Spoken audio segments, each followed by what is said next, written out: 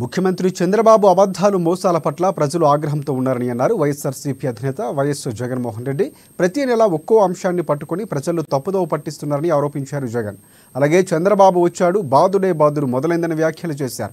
ఈ నేపథ్యంలో ఇవాళ ఉమ్మడి ప్రకాశం జిల్లా వైఎస్ఆర్సీపీ ప్రజాప్రతినిధులతో వైఎస్ జగన్ సమావేశమయ్యారు. సందర్భంగా వైఎస్ జగన్ పార్టీ నేతలతో మాట్లాడారు.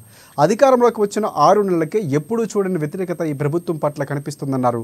మనకున్న వ్యక్తిత్వం విశ్వసనీయత వల్లే మనం రేపు మళ్ళీ అధికారంలోకి వస్తామని చంద్రబాబు అబద్ధాలు మోసాల పట్ల ప్రజలు ఆగ్రహంతో ఉన్నారన్నారు జగన్.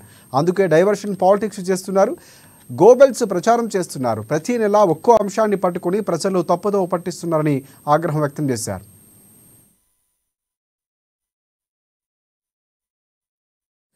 ఇక చంద్రబాబుతోనే మనం యుద్ధం చేయటం లేదు ఎల్లో మీడియాతోనూ పోరాటం చేస్తున్నాం. ప్రతిరోజు డైవర్షన్ పాలిటిక్స్ చేస్తున్నారని విమర్శించారు వైఎస్ జగన్. వీళ్ళు ప్రజలకు చేసిన మంచి చెప్పుకోవడానికి ఏమీ లేదు. బురద చల్లటమే పనిగా పెట్టుకున్న వారితో మనం యుద్ధం చేస్తున్నాం. అబద్ధాలు చెప్పడం వక్రీకరణ చేయడం దుష్ప్రచారం చేయటాన్ని ఒక పనిగా పెట్టుకున్నారు. దీన్ని తిప్పి కొట్టాల్సిన అవసరం ఉంది.